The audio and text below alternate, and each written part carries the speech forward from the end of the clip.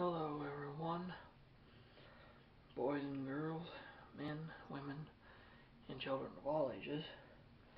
It is I, everyone's favorite jack of all trades with the foul mouth, Commodore Urban.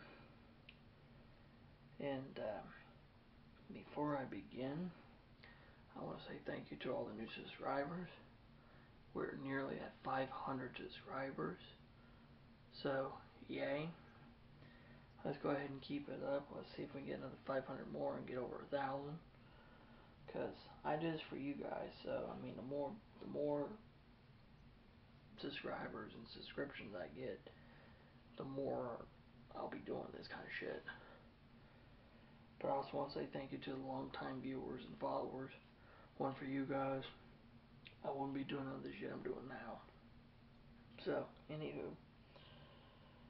Yes, I've got a bit of Titanic news. Yeah.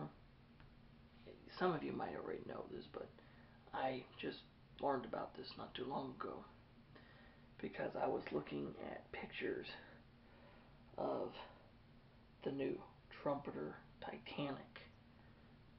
What it's going to look like, you know, all the stuff, what it's going to look like, you know, seeing what the box is going to look like, and seeing all the different uh, things, the parts, your sprues, and on one sprue it had the propellers, and of course you had your two outer three-bladed wing screws, and you have your four-bladed center screw.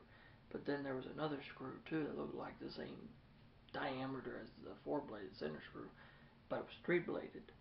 I'm thinking, what the fuck? A three-bladed screw?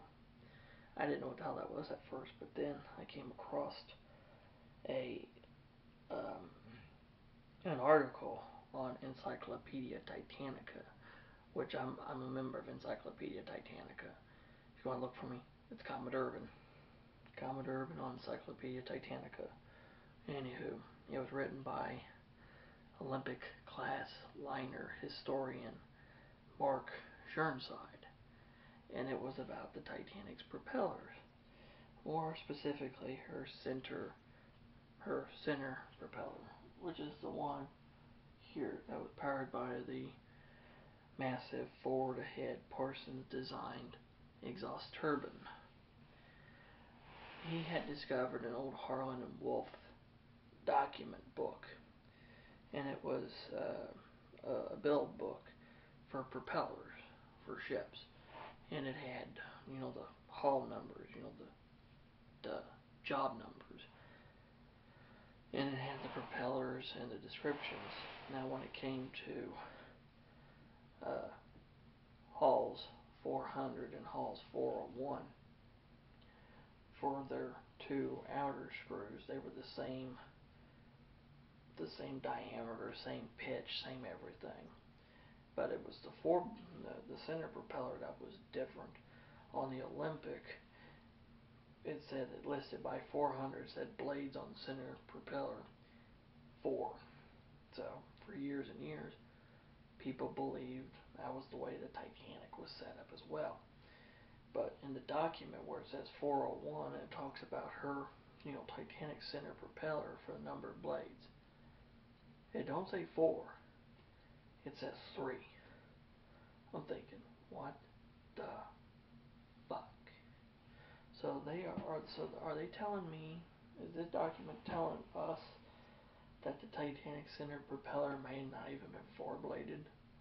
All this time, the Titanic may have had a three-bladed propeller pushing her through the water, along with her two three-bladed outer screws, instead of the four-bladed propeller. Because for years and years, there has been this one picture that shows the back end of an Olympic class liner, you know, with the two big gargantuan wing screws and the center forward head propeller, which was four bladed. If if they're saying is fucking true, that picture isn't Titanic. That picture was Olympic. Because if it is true, Titanic's center propeller or the turbine propeller was three bladed, not four bladed. and I read the document. The document makes perfect sense.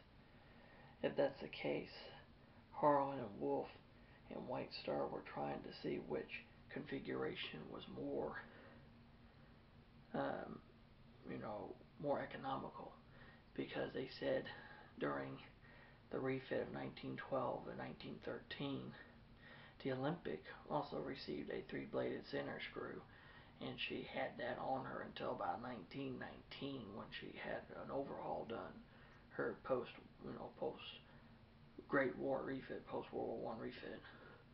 When she was converted to burn oil and stuff, they re reinstalled a four-bladed center screw on Olympic. So that means that the three-bladed screw wasn't as economical and performed as well as the four-bladed screw originally did.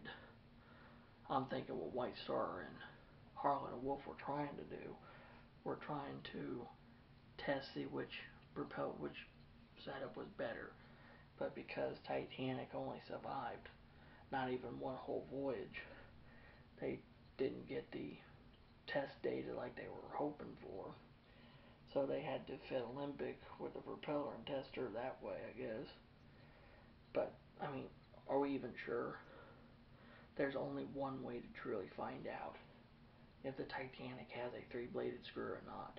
And that's to go down to the wreck and somehow either A, or either one, dig all the mud and shit away from the area of the third propeller, the, the center propeller, and look at it that way, or two, do what they did for the bow section of the ship when they were looking at the damage, you know, under the mud. You know, they were scanning the mud using sonar to see through the mud. Sonar around the stern of the ship and see if you can pick up a propeller. Because we can see the wing screws. They're up out of the mud. We know where they're at. We see them. You can see them on the wreck. It's just that screw alone you can't see. So if you can shoot sonar into the mud and actually see if the propeller either has four or three blades. If the Titanic has four blades, she was set up exactly like her sister Olympic. But if she has three blades, it it just shows that the this old document from Harland and Wolff was telling the truth when they outfitted the the queen of the ocean as she had been dubbed uh, with a three-bladed center screw. But the only way to really truly find out is to actually either a dig up the mud around the propeller and look that way, or sonar the fucking mud and see if you can pick up an image of a propeller. That's the only way to really truly find out. But the Titanic does have a three-bladed propeller. Holy. My mind has been mind raped. Everything I knew about the propulsion of the Titanic is wrong. And I should probably re re research that. So yeah, Titanic may have a center propeller that was not four bladed, but three bladed. So yeah, I hope you guys enjoyed that. If you have any questions or comments, please leave them in the comment section below and I will get back with you. And as always, if you're new to the channel and you like what I'm doing, hit the subscribe button and hit the notification bell. Become part of the Commodore's crew. And until next time, this is the Commodore Urban saying have smooth seas and clear skies. Happy sailing with you, and God bless you. Until next time, bye bye.